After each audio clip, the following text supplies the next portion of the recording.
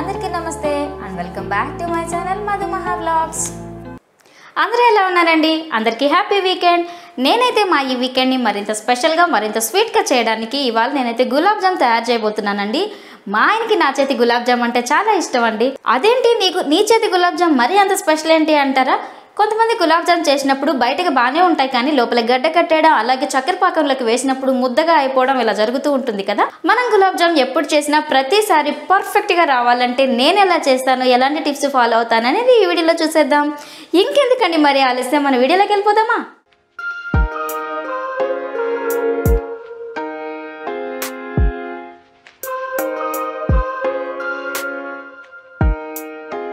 ముందుగా నేనైతే ఇక్కడ గులాబ్ జామ్ మిక్స్ని మిక్స్ చేసుకోవడానికి పాలు అనేవి కాగబెట్టుకుంటున్నాను. పాలతో మన గులాబ్ జామ్ మిక్స్ అనేది కలిపామంటే టేస్ట్ మరింత బాగుంటుందండి. మీరు కావాలంటే వాటర్తో అయినా కలుపుకోవచ్చు. పాలు మరిగేలోపు నేను ఇక్కడ ఎంటీఆర్ గులాబ్ జామ్ మిక్స్ తీసుకొని అందులోకి చిటికెట్ సాల్ట్ యాడ్ చేసుకున్నాను. ఇప్పుడు పాలు అయితే కాగిపోయాయండి.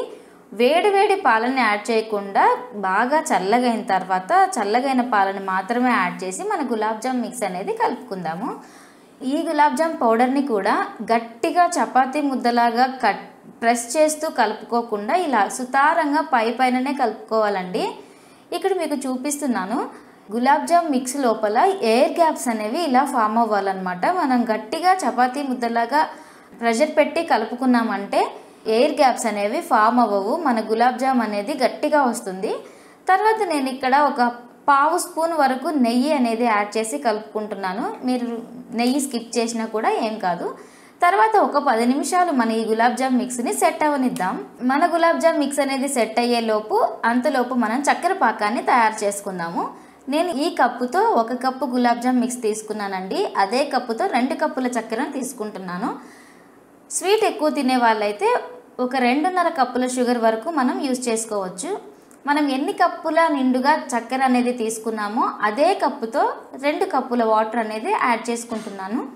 మనకి చక్కెర పాకం అనేది తీగ పాకం రావాల్సిన అవసరం లేదండి. ఇక్కడ వీడియోలో నేను అదే చెప్తున్నాను. తర్వాత ఇందులోకి నేను ఒక నాలుగైదు ఇలాచీని యాడ్ చేసుకుంటున్నాను. ఎవరైతే ఇలాచీ పౌడర్ యూజ్ చేస్తున్నారో వాళ్ళు లాస్ట్లో యాడ్ చేసుకోండి. ఇక్కడ వీడియో క్లిప్లో చూపిస్తున్నట్లుగా షుగర్ సిరప్ అనేది ఇలా మరిగితే సరిపోతుందండి. మొత్తానికి ఒక సెవెన్ ఎయిట్ మినిట్స్ మరిగితే సరిపోతుంది చక్కెర పాకము. అంతలోపు గులాబ్ జామ్ మిక్స్ అనేది చక్కగా సెట్ అయిపోయింది. చూడండి ఎయిర్ గ్యాప్స్ ఎంత బాగా కనిపిస్తున్నాయో. నా కెమెరా అనేది సరిగా క్యాప్చర్ చేయలేదు. గులాబ్ జామ్ పర్ఫెక్ట్గా రావాలంటే దానికి ఒక చిన్న మెథడ్ ఉందండి. ఇక్కడ వీడియోలో చూపిస్తున్నట్లు ఇలాగ ఒక్కసారి లైట్గా ప్రెస్ చేసి అలాగే మన రెండు చేతుల మధ్యలో పెట్టి ఇలా రౌండ్గా చుట్టామంటే సరిపోతుంది. ఇక్కడ మా బుడ్డు పుడత కూడా గులాబ్ జామ్కి నాకు హెల్ప్ చేస్తుంది. మొత్తానికి బాల్స్ అన్నీ రెడీ అయిపోయాయండి. చూసారా ఒక్క దాని మీద కూడా క్రాక్ అనేది లేకుండా ఎంత సాఫ్ట్గా కనిపిస్తున్నాయో. ఇంకా తర్వాత మనం డీప్ ఫ్రై కోసం ఆయిల్ అనేది పెట్టేసుకుంటున్నాను. ఈ మాత్రం నూనె అయితే మొత్తం గులాబ్ జామ్కి సరిపోతుందండి. గులాబ్ జామ్ బాల్స్ని ఫ్రై చేసేటప్పుడు మంట ఎప్పుడు మీడియం ఫ్లేమ్ మీద మాత్రమే ఉండాలి. ఇంక ఇక్కడ వీడియోలో చూపిస్తున్నట్లుగా మంచి కలర్ వచ్చేంత వరకు గులాబ్ జామ్ బాల్స్ని ఫ్రై చేసుకుందాము. ఇలాగ రెండు వైపులకు తిప్పుకుంటూ మంచి కలర్ వచ్చేంత వరకు ఫ్రై చేసుకుందాము. ఇక్కడైతే అనేవి రెడీ అండి. కరెక్ట్ కలర్ వచ్చేసింది చూసారా?